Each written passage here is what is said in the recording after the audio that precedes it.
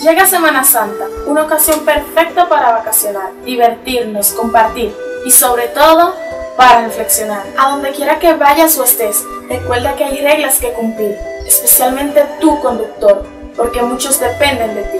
Tu familia te espera, haz que tu llegada sea de alegría y no de dolor. Es un compromiso de cada persona tratar de no ser una estadística más en la lista de accidentes. Maneja con prudencia en esta Semana Santa y siempre.